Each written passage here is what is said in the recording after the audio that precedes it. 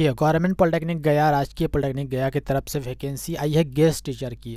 मतलब इंस्ट्रक्टर का ही बोल दीजिए। तो गेस्ट टीचर की वैकेंसी आई है और कैसे आप लोग का सिर्फ़ इंटरव्यू होगा, बाकी कुछ नहीं होगा।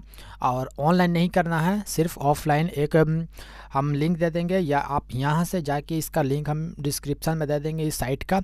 वहाँ से जाकर आपको यहाँ पर देख रहे हैं application form teaching teaching and non teaching post download तो आपको ये फॉर्म डाउनलोड करना होगा। ये फॉर्म डाउनलोड करने के बाद आप लोग का आगे हम बताते हैं। उससे पहले आप लोग चैनल को सब्सक्राइब कीजिए और शेयर कर दिए ज़्यादा से ज़्यादा जिन लोगों को नहीं पता, वो लोगों को ही बता दीजिएगा। और चलिए तो स्टार्ट करते हैं। उससे पहले आप लोग चैनल को सब्सक्राइब कर लीजिएगा। सब्सक्राइब नहीं करते आप लोग देखकर। चलिए हम एडवर्टाइजमेंट को पहले डाउनलोड कर लेते हैं। उसके बाद अप्लीकेशन फॉर्म के बारे में बताएँगे।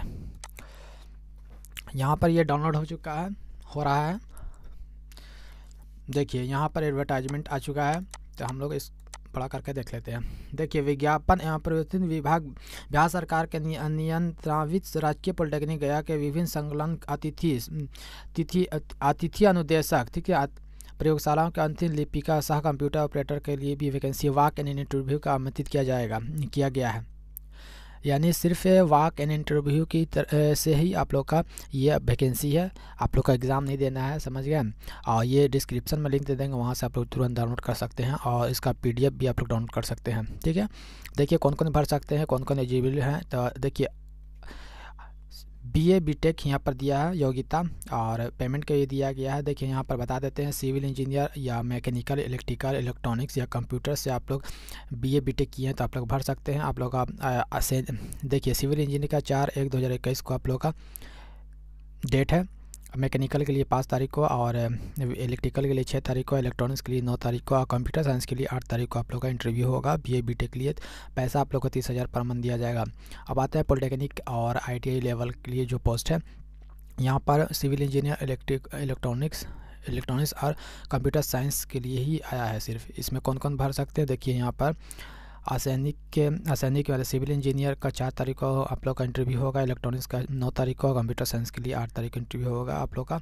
अगर आप डिप्लोमा किए हैं या आईटीआई किए हैं स्टेट इस ए, मतलब सेक्शन के मतलब सिविल से या इलेक्ट्रॉनिक्स से किए हैं या कंप्यूटर साइंस से तभी आप लोग भर सकते हैं। BCA भी किए हैं तो आप लोग कंप्यूटर साइंस से आप लोग जा सकते हैं और आपका पेमेंट तेरह हज़ार पर मंथ दिया जाएगा।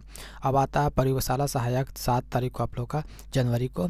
ये आप लोग का इंटरव्यू होगा। बीएससी अगर आप लोग उत्तीर्ण है तो आप लोग जा सकते हैं बिल्कुल अंतिम लिपि का कंप्यूटर ऑपरेटर के लिए भी है सात तारीख को। तो आप लोग तुरंत जाइए आराम से इसको डाउनलोड करके आप लोग जाके आप लोग इंटरव्यू दे सकते हैं। इंटरव्यू इसमें आपका कंप्यूटर ऑपरेटर के लिए सिर्फ़ इंटरमीडिएट चाहिए, हिंदी और इंग्लिश टाइपिंग चाहिए थर्टी डब्ल्यू में। ठीक ना? बाकी यहाँ पर यहाँ दिया गया है।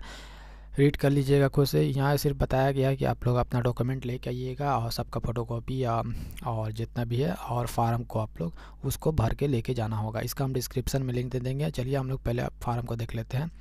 इसको हटाते हैं हम। सॉरी, देखिए फिर से हमको करना पड़ेगा। रुकिए एक मिनट। यहाँ पर आप देख सकते हैं एप्लीकेशन फॉर्म एप्लीकेशन फॉर्म को यहाँ डाउनलोड करते हैं हम। यहाँ पर हम बता देते हैं।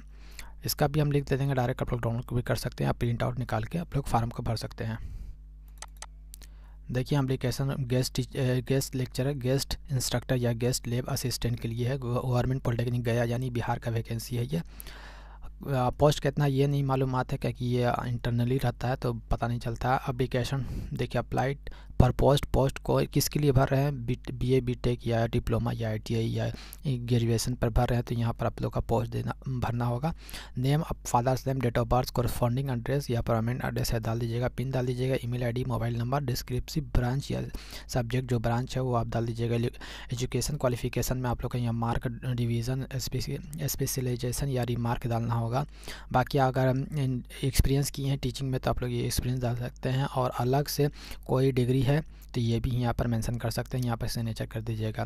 बाकी कुछ नहीं करना, बाकी इसको प्रिंट निकाल के, इसको फॉर्म भर के, बाकी अपना जितना भी सर्टिफिकेट है उसमें लगा देना है। यहाँ पर एक फ़ोटो कर देना है।